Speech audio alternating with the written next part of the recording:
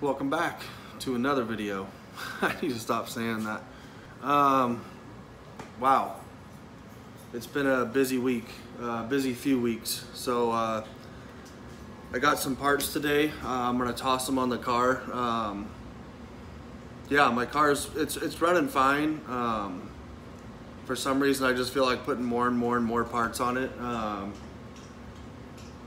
Yeah, it's like the dealership mentality. You know what I mean? You don't quite know what's wrong. It's not 100%, but it's okay. So just like throw a bunch of parts at it because you really can't figure it out or you can't narrow it down. So I don't know if this is necessarily one of those things, but uh, when I'm running my JB4, my car gets around 17 pounds of boost sometimes on my stock turbos, which my stock turbos, uh, they're, they're limiting my power. There's no question about that. Um, I'm gonna upgrade those eventually, but I want them to fail first. Um, unless, of course, I just come into a bunch of money out of nowhere, or someone sponsors me um, with my small YouTube channel. Then, then yes, I'd um, I'd toss some new turbos on it.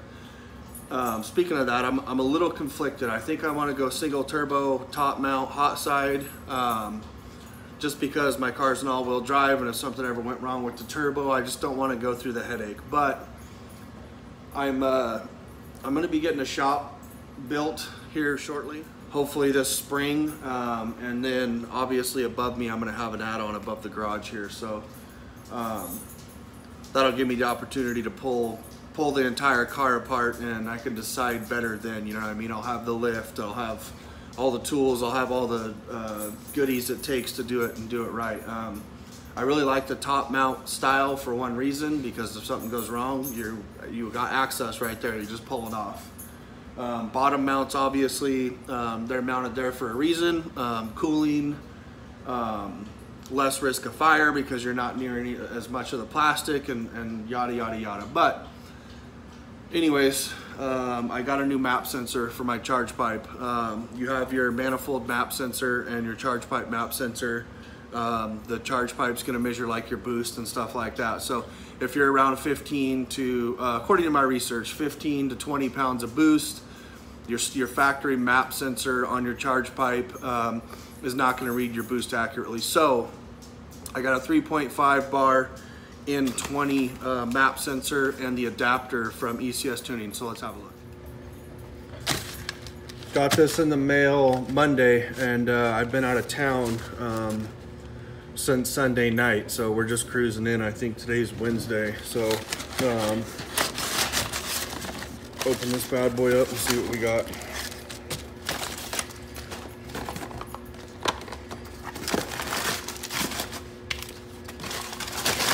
All right, so they sent me, well, first, this is the adapter because my car cannot run the N20 map sensor you can depin and mess with the factory setup and do all that, but why? Um, this was like 30 bucks. Why, why would you even bother even messing with it when you can just buy this, plug it in and be done? You know, it's QC'd, it's, it's good to go. So, um, bought that. I will put the link in the description. And then I got two options. Should be a Continental. Um, which one's this one? So I got the Continental and then the OEM BMW replacement, BMW group. Um, this one was like a hundred and something bucks and this one was 68 bucks. Um, this was actually a surprise from my wife. So, you know, find someone that uh, knows you enjoy doing things and, and, surprises you with shit like this. You know I mean? Uh, that's a huge help. Um, you need support uh, when you're messing with cars and when you want to upgrade them and when you want to just take them to crazy places, uh, yeah, you need proper support. Anyways, uh, let's open these up and have a look. So what happened was is I asked for all this stuff and they put it in my cart and then um, she has access to my cart so she looked in there for some odd reason. Uh, maybe I was being a good boy. Um, and bought what was in my cart. So that's why I have two of the same. I have both options. She didn't know, you know, the discussions I was having back and forth with ECS Tuning. So um, I'm gonna return one of these maybe, or just have it as a backup. But I definitely wanted to compare the two because um, I don't think there's really a difference in my opinion, but uh, I could be wrong. So that's the 3.5 bar N20 map sensor, uh, the BMW one. And then I just showed you the Continental one, but uh, made in Germany. Um, I imagine the quality is the exact same. I don't know. Um, well, that one says BMW, so it probably adds another thousand horsepower. So it was way more. So that's that in a nutshell. So anyways, here's everything I got. Um, I'm gonna break this stuff down, go pull my cover off, and then I'll show you how to uh, replace that real quick. So I got my light and everything set up. Um, I am waiting on a new uh, valve cover cover. Uh, can't talk right now. The beauty covered the deal there. Anyways, I got a carbon fiber one coming. Um, it's the only carbon fiber I'm gonna put on my car. I went gloss black and uh, anyways, it was it was cheap. I want to see the quality before I really tell you guys the price. Um, I couldn't believe the price, so I'm a little bit uh, concerned about the quality. It's been three months since I've ordered it, um, so they're made uh, made to order. Um, anyways, here's your map sensor on your charge pipe, right down here. It's um, gonna be dang near in the same location as your factory one, and mine are five millimeter Allens. Um, so we'll break into that in a minute. I said it was uh, it's been a long few weeks um, and I haven't really uploaded anything because um, the last video I did was the um, Vader Solutions um, little guy there. Anyways, my car was in the shop for about eight days. I just, uh, I said screw it. I, I bucked up, um, got the oil pan gasket done. Um, I'll throw a little, a uh, few clips that my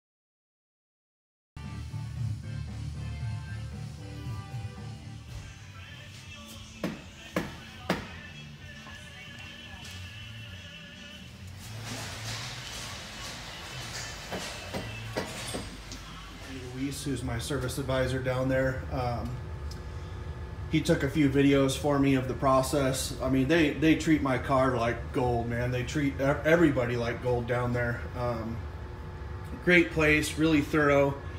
Cleaned all my parts, all my trays. Um, so I got a the oil housing gasket replaced. That was one of the last things to do. And then the oil pan gasket. And then I had them uh, walnut blast uh, the valves as well. So they were already in there. They pulled the manifold to get the housing apart and uh, just a bang up job. That was the last portion of all the maintenance on this car. Um, I got this car for cheap because I knew it, it needed some work and around the mileage that it's at, they're all going to need work. Um, no one can tell me anything different. Um, the, the seals and the gaskets they use from BMW are just they're not good. Um, period. No one can change my mind. I've got a new valve cover, valve cover gasket, trans pan, uh, gasket, uh, filter, everything, oil pan gasket, oil housing gasket, and it wasn't cheap at all. One of these days I'll do an overview, but I think I'm like seven G's in maintenance on a car that I paid less than 10 grand for. I mean, it's a beautiful car. I love the platform. Um, you're gonna sink a lot of money in these. Um, period. Especially if you don't have the tools or the lift. You could do it for cheaper. I think the $800 range for all the gaskets and then the labor whatever your your labor's free or whatever so um, just food for thought if you want to get this platform and you want to run it and maintain it and get good horsepower out of it those are all things that you need to do so anyways uh, let's get to it I don't really have a good way to show you guys how to get to these so I'm thinking I'm gonna get them off camera but you can see the map sensor right there I added a little bit of a light um, there's two five millimeter Allen heads. I'm gonna loosen those up and then pick up after that. All right, real quick. It took me two seconds to pull those out. They're right there. My trusty workbench slash my dog food container. And then we're just gonna wiggle that guy off and unplug him. All right, you just pop that guy off. You can see the wire right there. And then here's my old one. It's just got a little tab right there that you lift up on and pull off. So yeah, this is my stock one.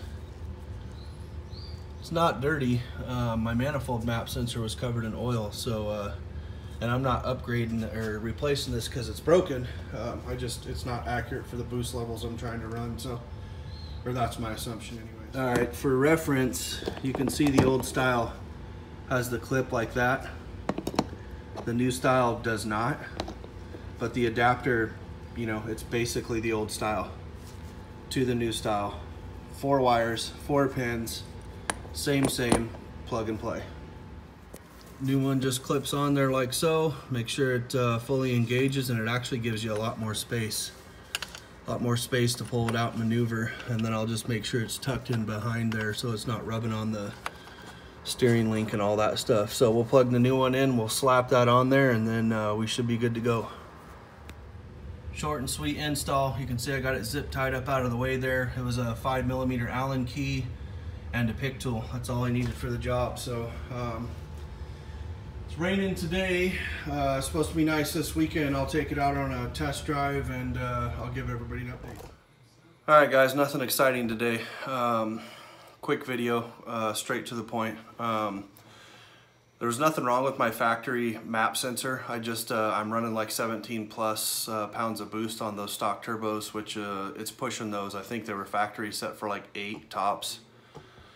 Anyway, so I hope you enjoyed the video. Um, I'm not sponsored by anybody. I spend my own money on this stuff, my own time. Um, I do it to possibly help someone out. Um, I did a little research and, and seeing that this was an issue. So um, I bought the parts and put them on there. So thanks for watching. Thanks to all of you for subscribing. Uh, means a lot to me. Um, I'm not trying to be a professional YouTuber. Uh, obviously, I don't even have enough followers to make money on this stuff.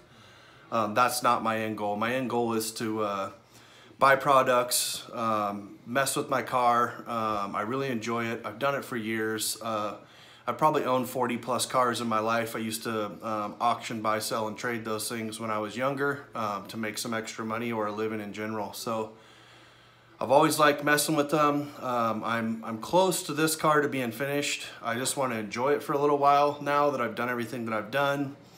I went over some of the maintenance things. Um, you know, you could have saved money by doing them yourself, but uh, some of the stuff I just don't have the the tools and all that stuff. So I felt it was better to have a professional do it. And the place I go is three year, 36,000 mile warranty on all this stuff. So, um, you know, parts that contain oil and pressure and coolant and stuff like that, I just, I can sleep better at night knowing I have that warranty. I'm knowing that they'll back that warranty and the level of service they provide. They're, um, they're a maintenance shop. They're not a tune shop by any means, but, uh, they do a bang up job and I really appreciate what they do. Um, thanks for watching my video. Um, like and subscribe if you want. Uh, I'm not trying to push any of that. Uh, I'm gonna always give, even if I get the parts for free at some point, I'm always gonna give a straightforward evaluation of what I think of the product. Um, appreciate you watching the video. Um, have a great day.